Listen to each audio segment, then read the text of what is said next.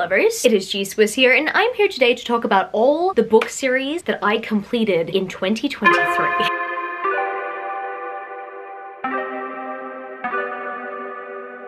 This is a video I look forward to filming every year because it's the video where I pretty much get to brag.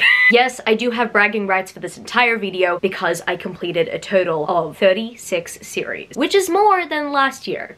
I mean, one series more than last year. I did have to remove the Zodiac Wolves series because technically we are getting the finale in 2024 and I had no idea that that was going to be an extended finale, so I decided to remove the Zodiac Wolves. But if I included the Zodiac Wolves on the series, like the four books that we were gonna have following Ayla and Caden specifically, then it would have been 37. But taking that series out of the equation, I'm just gonna talk about the 36 series I completed. Some of these are kind of rounded up based on the characters that we are following in series, and if we're not gonna get a continuation sequel to their story specifically, there is a series that I'm gonna be referring to where there is that kind of situation. But yeah, for the most part, these are just complete series, and I will be going through them today. Interjection from the future book lovers. So firstly, I've taken out my review for the One St. Martin's Press series that I did read in 2023. So that is one series that I won't be mentioning, but I'm acknowledging it as a series that I've completed. Secondly, I mentioned a series in the video that actually was not a completed series. And the funny thing was, thirdly, I did not mention a series that is actually a completed series. However, I had no idea that it was actually completed. So technically, I still read a total of 36 series, which I'm really happy about that. I will insert this future G-Swizz somewhere throughout the video just to get the accurate timeline of when I completed certain series. Back to past G-Swizz. So I guess without further ado, let's get straight into all the series I completed within 2023. And I will also go into how I rated them. And if I'm looking down in this direction, by the way, it's because my laptop, which has has the spreadsheet, is on my chair, so if I look down, that is why. The first series I completed in 2023 was the Unearthly series by Laura Thalassa. Now, it being the first series that I completed in 2023 is a big reason why. It's definitely one of the most memorable series from Laura Thalassa that I read in 2023. I do mention that in my top 23 of 23 video. However, I did give this series a 4 out of 5 stars in total. The first two books being like 3-ish stars, both of them. I was like, oh yeah, no, I don't like these these first two books that much. I just found them to be okay. They were definitely probably my least favorite Laura Thalassa books I read, but the series progressed to be so much better. I think one of the books I rated a 4 out of 5 stars, and then two of the books in the series I rated a 5. So I just rounded it up to a 4 stars altogether. I still think about the series to this day. It's definitely one of the most memorable series I read in 2023, and I think it was a great series to kick the year off with. And the second series I completed in 2023 was Beastars! Yes, I finally completed Beastars in 2023 because the final volume of Beastars came out in January of 2023 and I gave the series an overall rating of 4 to 5 stars because that was pretty much my average rating when it came to the volumes. There were some volumes that I gave 5 out of 5 stars but I would say that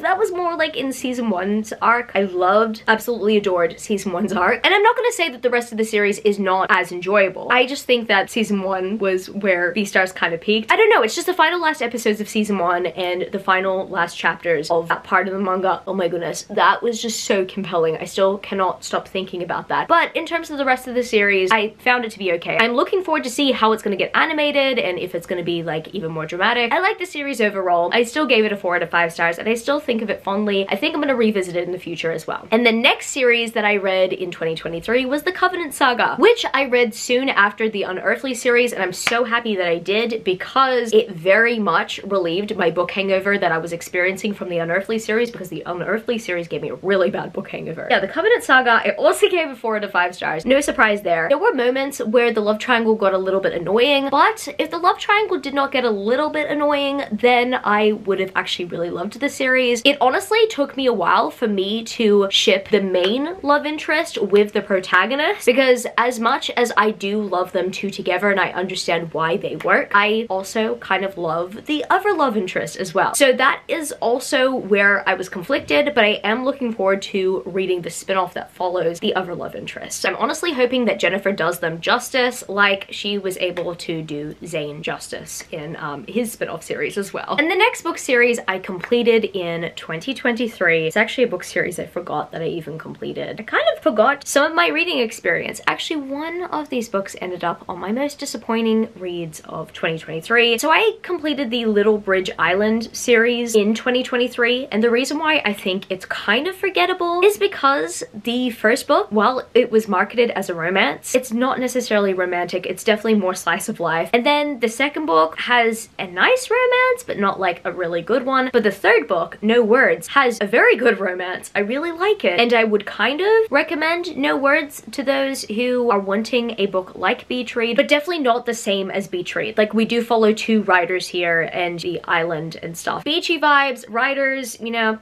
all that good stuff, right? This series was okay. I see that I rated it a four to five stars and I suspect that's because I rated the first book like a three, the second book a four, and then the final book a five. But I might just like bump it down to a 3.5 maybe because the second book in the series was kind of also a little bit forgettable, but I loved the third book. So I will still give the third book a five out of five stars. And the next book series I completed in 2023 was the Last Hour series by Cassandra Clare. This book series peaked at number one. I hate to say that, but it did. I didn't hate the final book. I loved the first half of the final book, but the second half, I was just like, no, I'm sorry. This is just not as epic as I suspected it was gonna be. I am also not a fan of what Cassie did to one of the characters in this book. I'm just not okay with how that happened. I think if anything, the, the character that should have died should have been a character that did everyone dirty earlier on and in book three sacrificed themselves for the greater good, but that was not what happened. Instead, another character had to suffer. I give this series an overall rating of a 3.75 out of 5 stars, considering that the first book was like a 5 out of 5 stars. You know what? I don't know how to mentally average out these ratings, but initially, according to my book tracker, I put it as 4.5 out of 5 stars. It took me a while for me to realize that Chain of Thorns was not good. I read it and I was enjoying it, but then I realized, wait a second, this is the last time we're gonna be seeing these characters. Yeah, that wasn't a good finale. like, it's a good solid sequel, but not a great finale. So I bumped my rating down for Chain of Thorns from like 5 out of 5 stars down to a 3 because I realized it wasn't good. That makes the first book a 5 out of 5 stars and the next two books a 3 out of 5 stars. So how does that like go down? Maybe 3.75 out of 5 stars. I'll say that. It's an okay series. It could have been my favorite series by Cassandra Clare, but unfortunately it doesn't beat the Infernal Devices for me. And the next book series I completed in 2023 was the Fix-It Witches series. Actually, there's another book that spins off from the series, but I just realized that this entire trilogy just follows the three witches that we've been following this whole time. I don't know how the spin-off plays into this world later, but I did complete the Fix-It Witches like initial trilogy. So I will count the Fix-It Witches trilogy also because I was not prepared for a spin-off. Anyway, overall I rated the Fix-It Witches series a 3.75 out of 5 stars because the first book is just okay. The second book is my favorite book in the series and the third book was decent. I do like the third book and I love how the third book ends, but the romance in the third book did not grab me as much as the second romance in the series. So yeah, overall I did enjoy this trilogy. It was a very fun time and I cannot wait to read the spin-off which is like the only purple house in town or something like that. And the next book series I completed in 2023 was the Brown Sisters series by Talia Hibbert. I really enjoyed the series. I did not love the third book as much as the first two, but I still loved it overall. I think I gave the first book a 4 to 5 stars, the second book a 5, but then the third book a 3. So it looks like I rounded it up to a 4 stars in total. The next book series I completed was the Bonds That Tie series by J. Bree, and I gave this a 4 out of 5 stars altogether because I'm pretty sure I gave 3 out of the 6 books a 4 out of 5 stars. I gave the first book a 3 out of 5 stars, and then I gave 2 of the books a 5 out of 5 stars. So I just decided average rating was 4, so altogether it's a 4 to 5 star series, but it did make my favorites list. And then I read the Ruled by Blood Blood series by May Sage. This was a very quick duet, very small like novella length book that just so happened to be combined in a bind up from the Arcane Society, so I devoured the series. I enjoyed it. It was like a 3.5 out of 5 stars. I didn't love the first book as much, but the second book I really enjoyed. I think I gave the first book a 3 stars and I gave the second book a 4 stars, so I rounded it to a 3.5.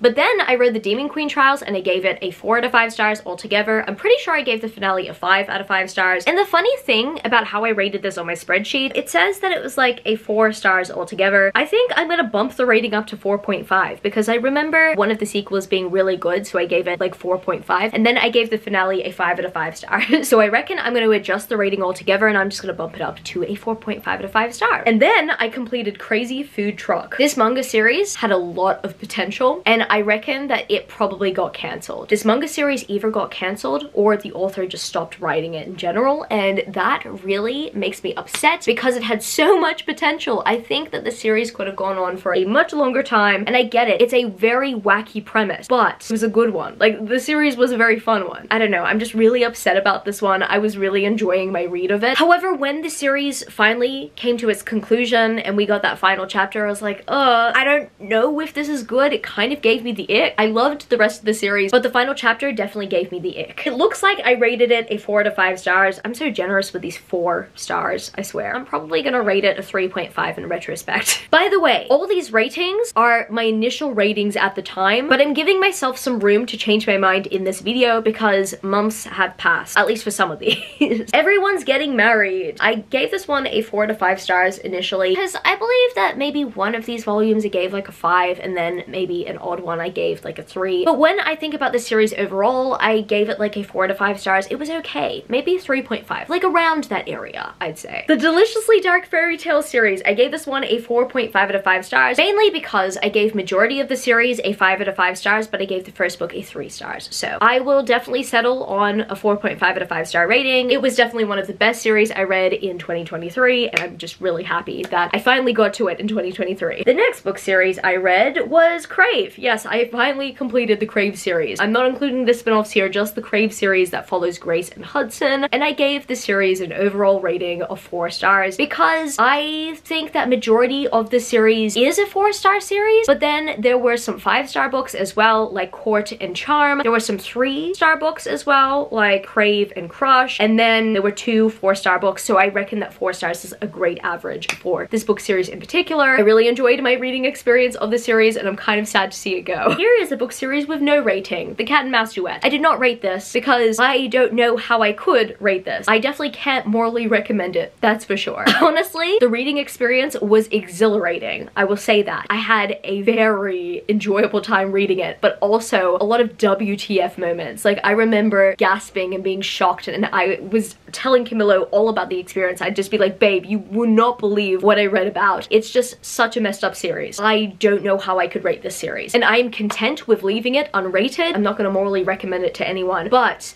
I'm just gonna say this. I had a fun time reading it okay? I had a fun time reading it. I'm not gonna go out and encourage everyone to read it though.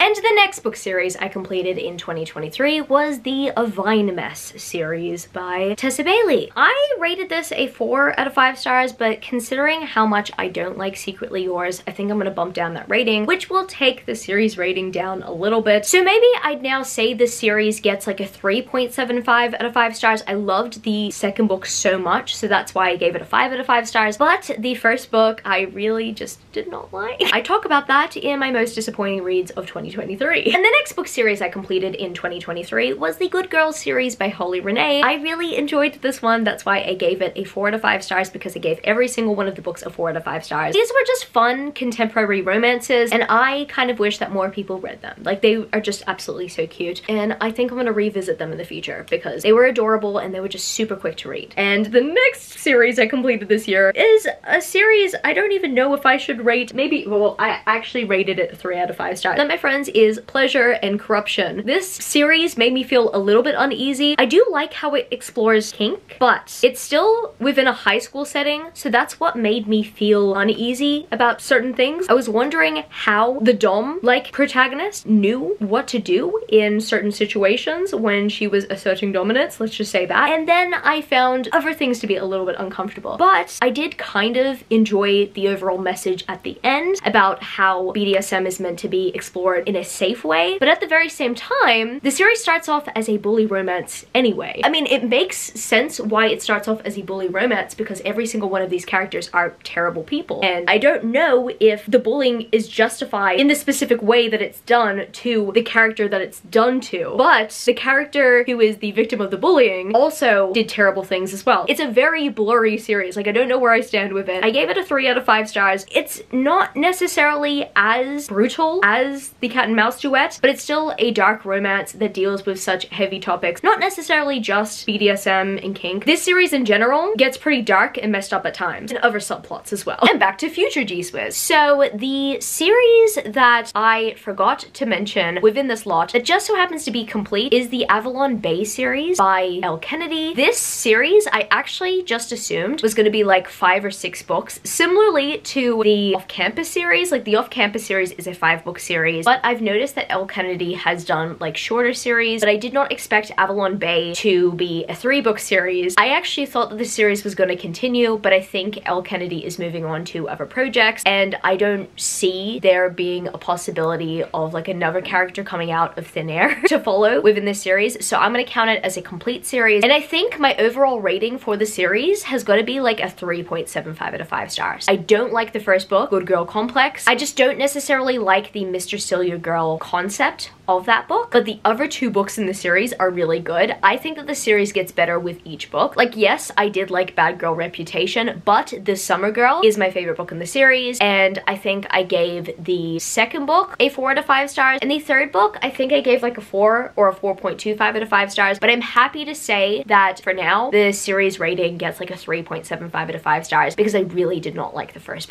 book. but I do like the series overall, and I think I will reread the series in the future without revisiting Good Girl Complex because the love interest in that book is absolutely hypocritical and he shows his hypocrisy throughout the rest of the series when he tries to be the bigger man. I'm like, no, dude, you literally stole someone else's girlfriend. Please stop being morally superior. Anyway, back to Past G-Swizz. And the next book series I completed in 2023 was the Dark Court Rising series by Bec McMaster. I loved the series so much, it made my favorites list, it made my top five of the year. This series is so good. If you are wanting a really good romantasy, this is a really good romantasy I highly recommend it. It's just so romantic, but also just a very great story, and I just love Thiago. Overall, I gave the Dark Court Rising series a 4.5 out of 5 stars. It was so close to a 5, but the first book and the last book got lower ratings than the bridging novella and the second book in the series. Overall, the series was still great, and the only new series I read this year that got a 5 out of 5 stars consistently all together, combined was the War of Lost Hearts series by Carissa Broadbent. I could not help but give this series a 5 out of 5 stars. You know what? Initially I rated the first book a 4 out of 5 stars and I was maybe considering bumping down the rating for the final book but no,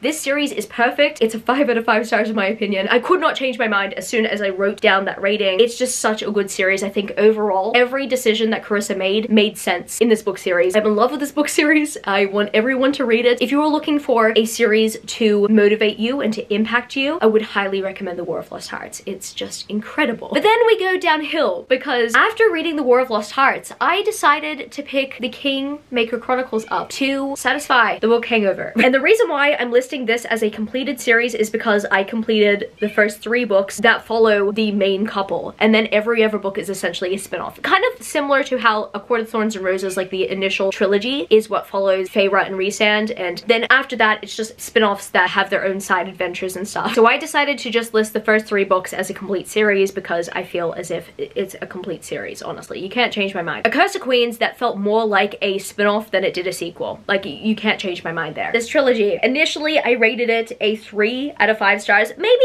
I don't know if I'll keep that rating because I did like the first book and I did like the third book, but I despise the second book. The second book got a 2 out of five stars. I think I'm gonna bump it down even further. So maybe the overall rating of the series will just go down to like a 2.5 or something. I really did not want to define how I feel about the series based on that second book, but honestly, it's really hard not to, especially because Griffin does not improve after that one scene that happened in the second book where he's chucking a violent tantrum. So I did complete that trilogy and I have regrets because I should have quit the series after reading about that violent tantrum. And in 2023, I also completed Ayashimon, which makes me feel a little bit sad because I had no idea that the series got cancelled and I feel even worse because this was from the mangaka of Hell's Paradise, which did successfully. I'm not too sure if Ayashimon was a series that was written after Hell's Paradise or beforehand, but I feel as if Hell's Paradise and its mangaka took two hits this year. Not only Ayashimon got cancelled, I'm not too sure if it got cancelled this year, but I only found out recently. But yeah, they took two hits in general because Ayashimon got cancelled and the Hell's Paradise adaptation just does not look good. I'm sorry. I cannot believe that Studio Mappa, those who animated Jujutsu Kaisen season 2, did Hell's Paradise as well. Like, I want to watch Hell's Paradise, but it's an eyesore. So I'm probably gonna read the manga in the future. I'm just really sad that Ayashimon got cancelled, but from what I read in Ayashimon, I think that it was very smart. It was very fun to read, and I really wish that I got a full series following these characters because I reckon it was an awesome premise. But overall, unfortunately, it did not do well on Shonen Jump, so yeah, it got cancelled. But overall, I rated it a 3.5 out of 5 stars. It was okay overall, but I would have wanted to see everything just get a little bit more fleshed out rather than rushed. But I did like the ending for something that just so happened to be cancelled because it wrapped things up very nicely and it got a bit meta. I liked that. And then of course, I read the Savage Land series by Stacey Marie Brown. I gave the series a 4.5 out of 5 stars. Majority of the books in the series I gave like a 4 out of 5 stars, but then there were books in the series I also gave a 5 out of 5 stars. So that explains the rating. I did enjoy the series overall. It's definitely one of my favorites of the year. It's not my favorite favorite, but it's definitely the best dark romance I read in 2023. And the reason why I said that the War of Lost Hearts was the only new series I gave 5 out of 5 stars was because I also reread the Bargainer series by Laura Thalassa. This series, 5 out of 5 stars, hands down, love it, obsessed with it, even more obsessed with it now, even more in love with Desmond Flynn. I constantly just think about these two. I love these two so much and I cannot get over this love story. It's so beautiful. Laura, definitely my favorite author. Love her, love the series, love everything about this. But then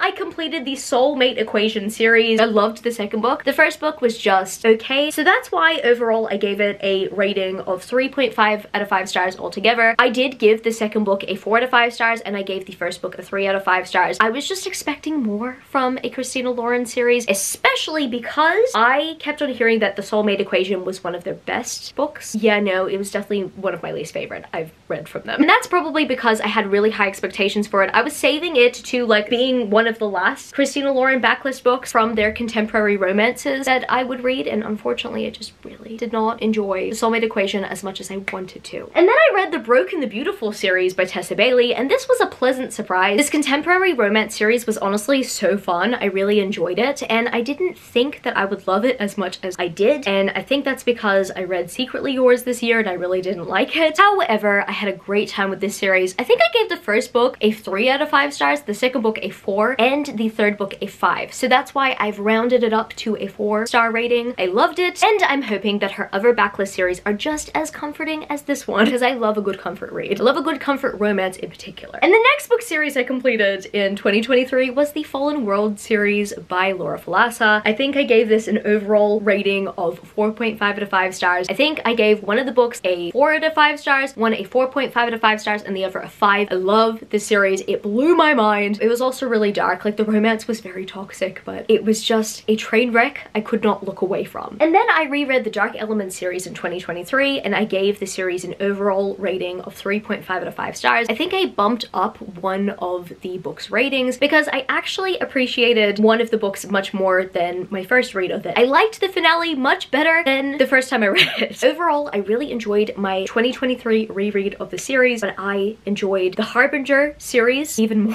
I mean, that is to be expected. So I reread the Harbinger series in 2023 and oh my goodness, I loved the Harbinger series a lot when I first read it, but I adored and marveled at my reread of the series. This is definitely one of the best series that Jennifer has put out. And I'm really hoping that another spin-off will take place in this world because there's another threat that looms over these characters. I don't know if maybe a spin-off will follow all of these characters or we will be following a new couple. I really don't know. But I mean, we will see. I just hope that Jennifer does more with this world because I think that there's much more potential with the Wardens and everyone else. So overall, I rated my reread of the Harbinger series a 4.5 out of 5 stars. And guys, I finally did it. I completed the Twisted series in 2023. I initially wanted to complete it in 2022. I'm so happy I finally completed the series. I adored it. I think I gave this series an overall rating of a 4.5 out of 5 stars. Yes, I did. And I think that that rating still holds true to this day. As much as I absolutely love and adore this book series, I don't think that all of these books are perfect. I think that sometimes they were a little bit on the slower side and there were some imperfections like third act breakup of Twisted Hate in particular, or maybe even just um, the resolution song in book one. But overall, I stand. I love this book series so much and I think that a four out of five star rating for the entire series is accurate for me. And then I also completed the If Love series by Ana Huang. I read this series soon after I read Twisted Lies and I really enjoyed this series. I'm not gonna lie though, the first book is definitely not perfect. The second book is essentially a second chance romance after that first book and I at times was rolling my eyes but then when you proceed with the second book and you finally get to the third act and realize that oh my goodness some things are not what they seem it really puts things into perspective. And honestly it definitely helped my reading experience. I'm so happy I did not give up on the series. I really loved the series so much and I love these characters. And I was honestly so happy that I had more material to read by Ana Huang. I cannot wait to read her Kings of Sin series. That's gonna be so exciting. But overall I gave this series a rating of four out of five stars. I think I gave the second book a high rating the first book a very low rating and then the two others an average rating. I really enjoyed the series overall and I would highly recommend it if you like Ana Huang's Twisted series. And yes, 2023 was also the year I finally read Once Upon a Broken Heart by Stephanie Garber. Now, if you watched this video last year, you would know that Caraval did not get a high rating, but I'm happy to say that Once Upon a Broken Heart altogether, consistently, every single book got around a 4 out of 5 stars. I love this book series. I really enjoyed it and I'm so happy I did because oh my goodness, I really did not like Caraval. And I was so concerned about what I would think about the series because everyone is recommending this book series on the internet. I'm just wondering why. Why is Once Upon a Broken Heart so hyped?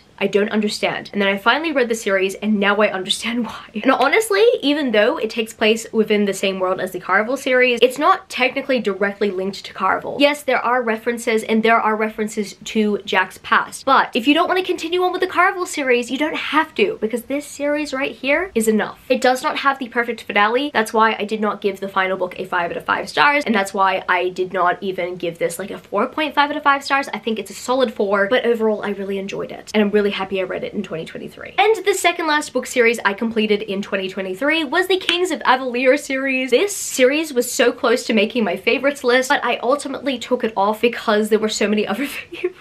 My top 23. You'd think that a top 23 would be hard to create. No, it was really difficult. I had like a top 30 and this book series definitely made that top 30. I definitely adored the second, third, and fourth books in the series. I did not love the first though. The first book in the Kings of Avalere series is what ultimately dragged it down. If I did love the first book, this series would have made my top 23, but unfortunately it did not. And that's okay. I still really love this series and I still would recommend it. I would not recommend book one though. You can read book one, see how you go with it but continue on with the series because it, it's really good. Book one was like, you know, a very low rating, but as the series progressed, the ratings got higher. Actually, no, that's a lie. The third book got a five out of five stars, but the fourth book got a four. I gave the series an overall rating of four out of five stars because half the series got a four out of five stars. But I mean, there is a book in the series that I have very strong feelings about, like, you know, liking it, and then I have strong feelings about despising as well. So yeah, overall, I say that four is a very safe rating for this one. And last but certainly not least, the final series that I completed in 2023 was the Frost and Nectar series by C.N. Crawford. I gave the series a 4.5 out of 5 stars because the first book I gave a 4 and the second book I gave a 5. So I definitely say that 4.5 is pretty accurate. It's definitely one of the best series I read in 2023 and I'm just really happy that I completed it by the end of 2023 because I initially was going to read it in 2024 but I didn't. I actually just read it for the first time in December and it was a great end of year binge read. Overall, I had a really good time with it. And that's it. I talked about all the series I completed in 2023. Yeah, 36 series I had a very good time with. I mean, majority of them, there were some series in there that just did not mix well, but overall, I'm quite satisfied with that achievement. And I guess that's gonna be it for this video today, book lovers. If you happen to stay till the end of the video, leave me the pink heart emoji with the sparkles. And if you happen to enjoy this video, don't forget to give it a thumbs up and subscribe to my channel if you haven't yet already joined the amazing community of book lovers. And also, I have social medias. Matt Swizzle Books on Twitter and Instagram, and I'm also Goodreads. That's www.goodreads.com slash gswizzle. And finally, I'm at TikTok. I'm at gswizzle on TikTok if you want to follow me there for some bookish content. I love you, book lovers, and I will see you later. Peace. Started out with half and I flipped it into double. Started out with half and I flipped it into double.